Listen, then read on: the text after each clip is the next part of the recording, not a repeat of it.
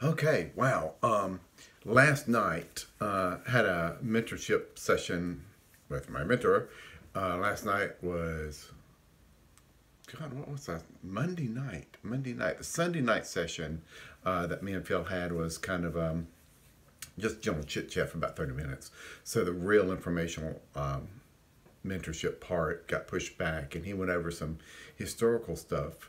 Um, uh, some more deeper background information instead of a technique. This was more information background, which I do appreciate and I like. Um, mm, as a result of that, at the very end, he asked a question. Goes, "You got any questions?" And it's like throughout this, the question had been building up. Something I have put out here, part of what I've put out here on these videos about this. Um, what I asked was I've got this feeling of this emerald green armor, and I've mentioned that in several videos. I even sent him through uh, a link to my BitChute video when when that happened, driving down to the pink house in the car. When I got this emerald green, I'm like, it's emerald green, it's sparkling with some silver, almost like scales. I didn't know how to explain it, but it's more like what I found out later, it seems to be more like crystals. And when I say sparkling, um, and it points. Um, it's points, um, points, um, instead of scales round. It's points. But I didn't know how to explain it. So I brought that up to him. I said, because I have no clue. I literally have no clue. And I still don't. I've never heard anybody talk about this. So I thought, well, he's got all this information. He knows this information. I'm going to ask him the question. So I asked him about that. And he said, well, there is these different auric fields kind of thing. There's a field out there that is this emerald green kind of crystal sparkly structure or something that's out there and that may be part of it. He went a little more details, but he knew what I was talking about. So I'm like, wow.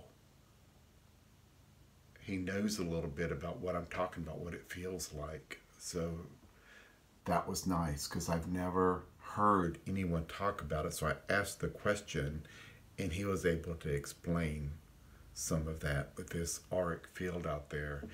And what he mentioned that I've got to look into, I, he, he's referring me to some of these manuals um, for me to go check out because I'm not jumping forward. I haven't read forward um, on all of this stuff. So he's referring me to some stuff to check out. And uh, he mentioned that there may be something out there helping me, um, and that is maybe part of it. And I'm like, well, yay. You see how dense I am. Sometimes I can use all the help I can get. You know, I'm dense. Uh, I can use all the help I can get. Yeah, I'm pretty dense sometimes. One of the techniques that also that we've done in the past. It brings you up to a certain stage, and then at some point in doing this, I don't know if it's weeks or months, but at some point, you get this um, symbol, this this image of a symbol that's kind of your personal symbol kind of thing, kind of thing, instantly. I mean, instantly. I didn't tell him that because this was going on during our one of our past sessions. I didn't tell him instantly. I didn't tell him until today, last night, uh, that there was this symbol because I didn't know how to explain it. It seems so weird and just weird because uh, what it was is it's like a big sword like a big sword with a point pointing down it came in through my forehead down to the center of my body and it's inside of me and it's like a big shiny sword. I mean, instantly, that's what happened. It didn't take weeks or months. It was instantly. And it's just like, that can't be real. Surely that's just my imagination because it didn't take a long time for this to happen, weeks or a month, and you get the symbol over time. No, this was instant. It was just instant um, because I don't know. I don't know any of this kind of stuff. And this was one of the big questions still hanging out there. I even have it in my videos several of my videos that I don't know why this is here. I have no clue why this is here, why I'm feeling this. I have no clue. And I told him that. So I don't know why this is here. Do you have any clue? Because I don't. But he understood. Talked about the green, emerald green, auric field kind of thing, and I'm going to look into that. And then when I told him about the sword, he goes, he kind of perked up and was like, yeah, that's actually in this book in one of these techniques that um, this kind of thing can happen. And he talks about it. He talks about several different aspects of it, but it's a silver sword. And he goes, that's actually one of the techniques. He gave me the number, the, the page number in the book to refer to that I don't think we've gone over yet. We haven't gone over yet. And I'm going to check it out and start looking into it. But it seemed like it surprised him a bit that I'm talking about this kind of thing. Um, and, and what he thought was neat is that I'm having these experiences, these things happening without being told about them. And I've mentioned in other videos about backward learning. That's not, I don't know how to describe it, but things were happening and then I get confirmation later. And these were two outstanding things that have been out there hanging hanging around me, literally, in me, around me, and I didn't know how to explain them, so I asked him, and sure enough, there's an explanation for this. And he explained it. Um, and he said, it's really kind of neat that this is happening without me knowing what is happening, without me learning about it first. Because a lot of people can learn about it and and hear about it and learn about it, but it never happens to them. And I'm having it happen to me, and I've never learned this yet. And so I don't know. My catchphrase, I don't know. Um, I'm glad I'm getting some explanations when it happens. Um, I appreciate that it's happening. And like I said, I am dense, so I can use all the help. Whoever's trying to help me, I can use all the help I can get because I am dense. So dense. So dense. Just got out of the shower. Decided to look up that information on the silver sword in one of the manuals he gave me and spot on to the page number he referenced. There it was. It was stuff we hadn't gone over before. And there it was. Right there in black and white with that silver sword. How very funny. No idea. I had no clue. Anyway, anyway, I decided to uh, keep looking up, trying to look up stuff. So I opened up a few more manuals and I ran across something. It was um, a symbol of three circles kind of overlapping in the center to form that weird little center point, but three circles. And beside it was Emerald Order of somebody. I'm still not real familiar with names or all that. All this is still real new to me. Uh, so I have a hard time remembering all these names I've never even heard before or how to pronounce some of this stuff. So a lot of that's new. Um, but that was related to Emerald also. And I'm like, well, that's funny. That's just kind of a funny thing. Um, the funniest funny thing was on that same page, besides that, um, there were the other symbols. There was a symbol almost like a wave with another wave. I'm like, that's familiar. Um, I have a video out there on light language, and I'm talking about writing it, and on the thumbnail photo out there on the website, have a yellow card, and it's like, that's some of the symbols that I write with, is that symbol. It's like, that's funny. And then at the very bottom page, there's another simple, simple symbol. It's just a circle with a dot in the center. And that's also in when I write like that, that circle with a dot in the center is in there as well. Uh, it has something to do with Ruby.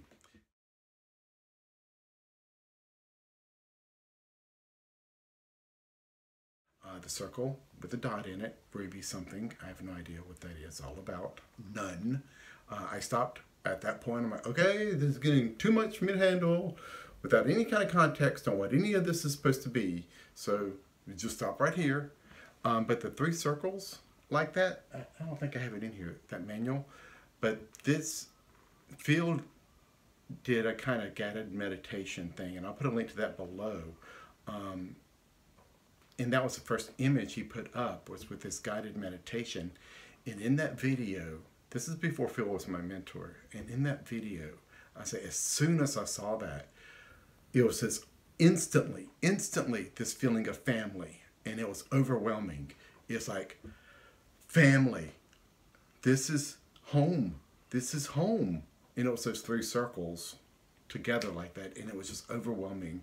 Home, and that has something to do with emerald order or something. And I'm like, well, there's that emerald color again. How funny. So, I don't know. I stopped looking. Uh, I got things to do. I need to run some bags of clothing to the local church where they resell it. I need to give some stuff to my neighbor that we've cleaned out of the house, give some stuff to my parents that have cleaned out of the house. The house is finally clean. There's a few little knickknacks that we've stacked up in the kitchen here and there that I've got to take to the shop. Just get it out of the house. Otherwise, we're done with the house. All right. Got my uh, little microphone thing here from uh, the earbuds. My sound on the phone is acting a little weird. Uh, it's been a day since I made this other video, so I'm adding this here in at the end. Um, house little trinkets and stuff is picked up. I can show you that house is finally clean. Let me turn this around. See if you can see. That shelf and all that down there was full of junk. Well, junk. All my wife's massage stuff and other really knick-knack junk. It's all clean. All those cabinets cleaned out. Yay. I mean, finally, it's all clean. Huh, so may eventually have to get a real microphone for this phone because the onboard microphone is acting weird. Uh, anyway, wanted to throw this in here about this silver sword thing. Um, I've thought about it for a day. I didn't know how I was going to put it in here, but what it comes down to is being open, kind, gentle, and honest. That's what it all comes down to. Oh, got my little BitChute cup too. They sent me a cup. Anyway, what it comes down to is being open, kind, gentle, and honest. So here's the honest part. I had forgotten about this sword. This sword has been with me for a long time. It happened after that walk-in experience uh, when I was a teenager. Uh, so I felt this when I was a teenager with this sword, and I knew the end the sword was a weapon. When I did fighting with these dark entities that I see and stuff, the sword's not used for that. That's not what it's for. Um, it's it's not a weapon. It's even then I knew it was not a weapon. And, you know, you're going through your life and my working career uh, over in Dallas Fort Worth area, and I completely forgot about it. But when Phil did that technique of you're supposed to get this symbol, that instantly came back into mind. I mean, it was bright, blaring, and there it's like that's it. That's a symbol, and it's like okay, boy, there was nothing else getting through other than that. Um, but I did not tell Phil that, that this symbol happened when I was a teenager after this walk-in experience. Um, it has something to do with comfort, this technique, a comforting touch, comforting people, comforting animals, com uh, comforting nature. Um, so I find that interesting. Uh, but I had forgotten about it, and then that's when it came roaring back instantly during that technique, just instantly. The uh, other thing that I've got to be open, kind, gentle, and honest about with that, um, because I don't know what's going on with all this stuff is just happening, but I have to include this. It wasn't just that. There was another symbol overlaying it that goes with it. It's not just the sword by itself. And I would do this with my whole arms, doing this motion, uh, kind of thing. But it, what this motion that went with it, I don't know why I was doing this. Zero, zero idea of why I'm doing this. Just none, just zero ideas.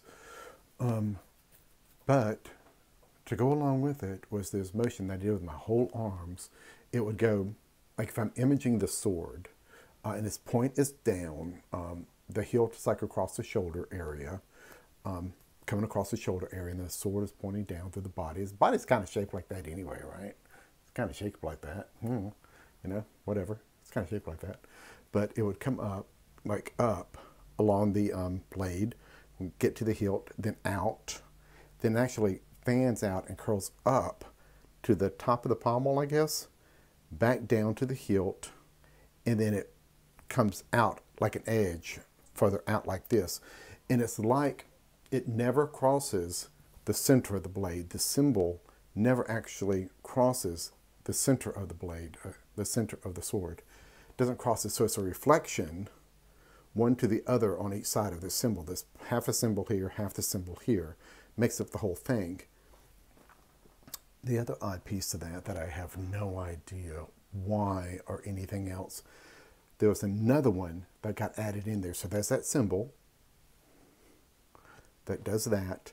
But if it comes up, the second piece to that symbol was come come back up the same way that this came down, come back up, but then cross, and it crosses, and it crosses the center of the sword. And when that happens, the sword flips and turns, and the point is pointing up and out past the head. The hilt is still here in the shoulders, but it's reversed, and the point is up and past the head uh, when it crosses like that. And I don't know why. And then the last piece is to come back up, flare and up and straight up like this above the head. And when that happens, this sword image comes all the way up and out and it just starts shining really, really bright. It Just starts shining. And that was when I was a teenager. And then when we did this technique, that instantly came to mind, instantly. I did not tell Phil all this uh, because it's crazy enough, all this other stuff, and I don't know. There it is, catchphrase. Um, I don't want to push too fast with people. I don't want to scare people away. I don't want to scare Phil away. I don't want to scare anybody away. Um, but all this kind of stuff happened. I mean, it's all real. Real. This really happened. I'm not making any of this up. This has all happened. And this sword thing was teenager after that walk-in experience, and I can't tell you why, why, or anything else about it. Why that happened, why that symbol was there, why the second part of that symbol was there overlaying the sword. I have no idea, none. Um, but I can't just throw throw this on a person, uh, not even my mentor, like that. So, yeah, I'm still learning. I'll always be learning.